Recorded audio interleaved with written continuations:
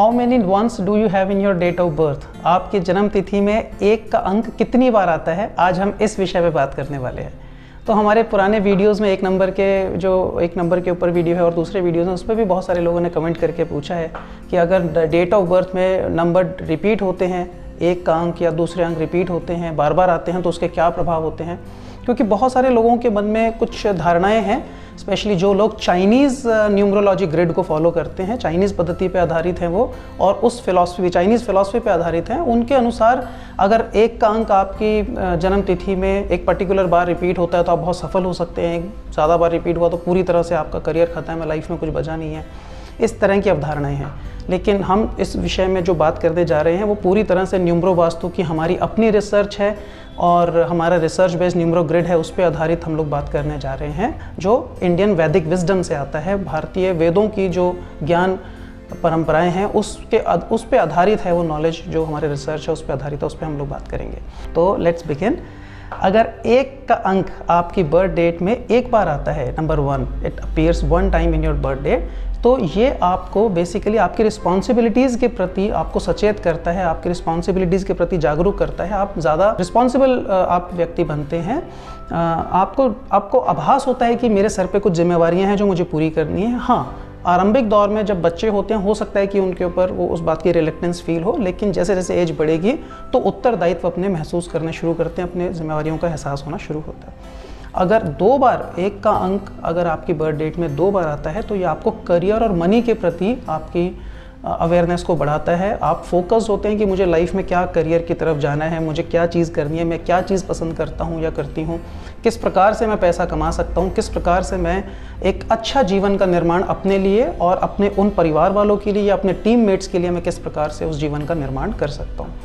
तो जिन लोगों की बर्थ डेट में एक का डिजिट दो बार आता है बर्थ डेट के लेवल पे डीडी जो इनिशियली यानी 11 तारीख को, किसी भी कैलेंडर डेट के 11 तारीख को जिन लोगों का जन्म है, वो लोग विशेष तौर पे अपने करियर में, अपनी लाइफ में सरकारी लोगों से या सरकार की तरफ़ से सपोर्ट एक्सपेक्ट कर सकते हैं, उनको सपोर्ट मिलती है। जो भी गवर्नमेंट ऑफिशियल्स हैं, चाहे किसी भी लेवल के हों सीनियर हों जूनियर हों, जो भी लेवल पे हो, सरकार या सरकारी तंत्र से या सरकारी तंत्र से जुड़े व्यक्तियों से या उन, उस तरह की ऑर्गेनाइजेशंस हैं या जो इंस्टीट्यूशंस हैं, वहाँ से आपको हेल्प मिलने की सपोर्ट मिलने के चांसेस बढ़ जाते हैं। यदि आपकी बर्थ डेट में एक का डिजिट तीन बार आया है चाहे वो बर्थ डेट पे हो मंथ पे हो ईयर पे हो, तीन बार आने से ये आपकी डिसीज़न मेकिंग को इम्प्रूव करता है। ये आपके क्लैरिटी को बढ़ाता है। आपको ये बात समझ में आती है कि हम कहाँ खड़े हैं आज और हमें जीवन में कहाँ जाना है और वहाँ तक पहुँचने के लिए क्या रास्ता हो सकता है, किस तरह से हम आगे जा सकते हैं। वो एक इनिशिएशन वो एक एक जज्बा, और वो मोटिवेशन वो एनर्जी और वो क्लैरिटी ये सब आपको मिलती हैं अगर तीन बार आपके पास एक नंबर का डिजिट आता है तो ये भी आपके लिए हेल्पफुल रहता है। बहुत सारे लोगों को लगता है यदि चार बार आ गया तो तो बहुत ज़्यादा ख़राब हो जाता है। लेकिन अगर आपकी बर्थ डेट में एक का डिजिट चार बार आता है तो ये आपके कॉन्फिडेंस लेवल को बढ़ाता है। मेरे पर्सनली मेरे एक फ्रेंड हैं जिनका birth date tenth November nineteen और आगे ईयर में है। तो उनका बर्थ डेट में चार बार आता है and he is very successful person बहुत अच्छा बिज़नेस करते हैं, बहुत सारा टाइम अपने परिवार के देते हैं, अपनी वाइफ के साथ और फ्रेंड्स के साथ। So he is having a very good life तो जिनकी भी बर्थ डेट में एक का डिजिट चार बार आया है, और अगर बाई चांस वो कोई प्रॉब्लम फेस करें तो इसका दोष कोई एक नंबर के ऊपर नहीं है कि एक नंबर चार बार आ गया, इसलिए आपके जीवन में तकलीफें हैं। छोटी मोटी तकलीफें सबकी लाइफ में होती हैं। चार बार आने से आपका कॉन्फिडेंस लेवल बढ़ता है डिसीज़न मेकिंग को और ज़्यादा सपोर्ट मिलती है, आप कॉन्फिडेंटली अपने दम पे डिसीज़न ले सकते हैं। हाँ कुछ केसेस में ये आपके अंदर थोड़ी सी ईगो ला के आ सकता है, आप ओवर कॉन्फिडेंस का शिकार हो सकते हैं। लेकिन इस वीडियो को देखने के बाद अगर आप अपने इन बर्थ पैटर्न्स को आइडेंटिफाई कर पाते हैं, अगर आप देख पाते हैं कि मेरी बर्थ डेट में ये डिजिट्स हैं और ये इतनी बार आ रहे हैं और इसका ये अर्थ है और मेरी लाइफ में भी ऐसा होता है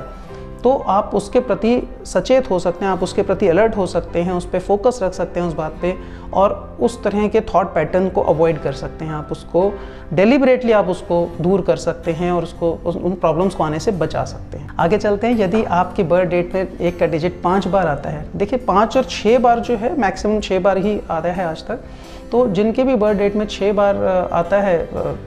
जो अलाइव हैं जो लोग जितने हैं पुराने लोगों की बात नहीं कर रहा हूँ उनमें तो ज़्यादा भी आ सकता था, पर छः बार आना तो बहुत रेयर है और आगे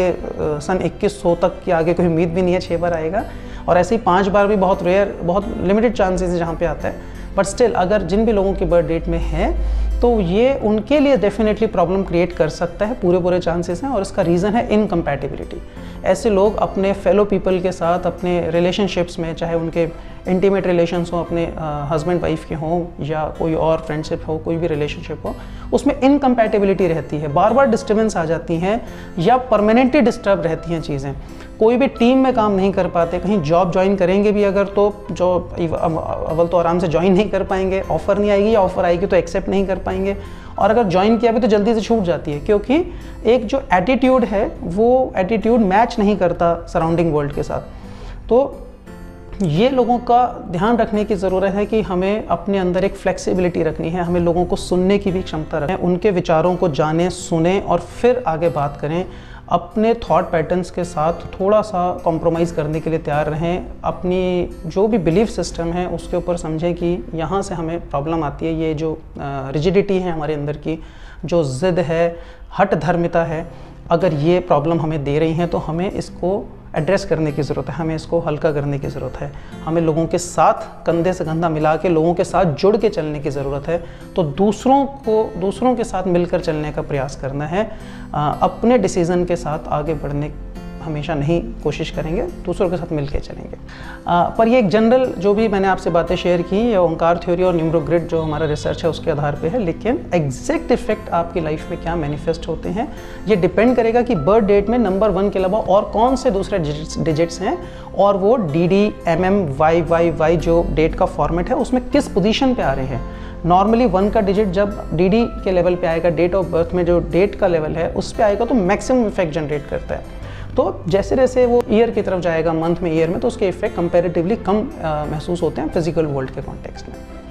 सो आई होप ये वीडियो आपको पसंद आया होगा और पसंद आया तो शेयर ज़रूर कीजिएगा अपने फ्रेंड्स के साथ स्पेशली जो भी एक नंबर के लोग हैं आपकी लाइफ में और जिनको भी आप ये वीडियो दिखाना चाहेंगे, जिनको भी इनसे आपको लगता है उनके लिए हेल्पफुल हो सकता है, वो अपने लाइफ में इसको सुनकर, समझकर, अपने जीवन में एक बेहतर रिज़ल्ट क्रिएट कर सकते हैं, उनके साथ ज़रूर शेयर कीजिएगा वीडियो को लाइक भी करिएगा और अपने कमेंट्स अपने फीडबैक अपने सजेशंस ज़रूर हमें इस वीडियो के कमेंट में डाल के भेजते रहिएगा। आपके कमेंट्स हमारे लिए रियल मोटिवेशन है, हम अपना काम करते रहें इसके लिए हमारे लिए एक प्रेरणा स्रोत हैं।